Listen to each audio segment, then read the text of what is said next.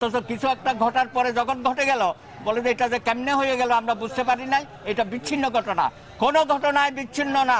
রামু থেকে শুরু করে সর্বশেষ এই যে কুমিল্লায় যে ঘটনা কেন্দ্র করে সারা বাংলাদেশে ছড়িয়ে গেছে, আমি মনে করি এখানে আইন শৃঙ্খলা বাহিনী এবং প্রশাসন সম্পূর্ণরূপে ব্যর্থ হয়েছে। তারা যদি আন্তরিক হতো, তারা যদি সত্যকারভাবে জিরো টলারেন্স নীতিতে চলতো কোনোদিনও এই ঘটনা সারা বাংলাদেশে ছড়িয়ে পড়তো না। তা আশা করি যেটা ঘটে গেছে, সেটা তারা যারা এটাতে সংযুক্ত আছেন এবং যারা এই ষড়যন্ত্রগুলো করেছেন, তাদেরকে খুঁজে বের করা হোক এবং তাদের বিরুদ্ধে দৃষ্টান্তমূলক শাস্তি দেওয়া হোক। দুর্ভাগ্যবশত প্রধানমন্ত্রী বলেন, কাউকেও ছাড় দেওয়া হবে না। কিন্তু আমরা দেখি এই সমস্ত ঘটনা রামু থেকে কুমিল্লায়।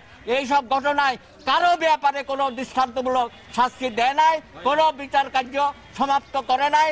আজ অবধি রামুর বাইশটা মামলা জুড়ে আছে। কোনো ধরনের চার্জশিট এখনও পর্যন্ত দেওয়া হয় নাই। সুতরাং এই ঘটনাও যে নীরবে নিবৃত্তে বিচারের বাণী কাটবে সেই জন্যই আমরা শঙ্কিত। আমরা এই শঙ্কা কাটিয়ে আপনাদের মাধ্যমে চাই সমস্ত দেশের জনগণ, তারা যেন বলে যে বাংলাদেশে কোনো সাম্প্রদায়িকতার স্থান নাই। আমরা মুক্তিযুদ্ধের বাংলাদেশ দেখতে চাই। এখানে হিন্দু, মুসলিম, বৌদ্ধ, খ্রিস্টান, আমরা সকলে মিলে সম্প্রীতির ভিত্তিতে সকল ধর্মের সমান অধিকার নিয়ে বসবাস করতে চায়, কারও বিরুদ্ধে কাউকে যদি কেউ লেলিয়ে দেয়, সেটা হবে অত্যন্ত দুঃখজনক এবং রাষ্ট্রবিরোধী কর্মকাণ্ড। অনেক ধন্যবাদ। উপস্থিত সাংবাদিক বন্ধুগণ।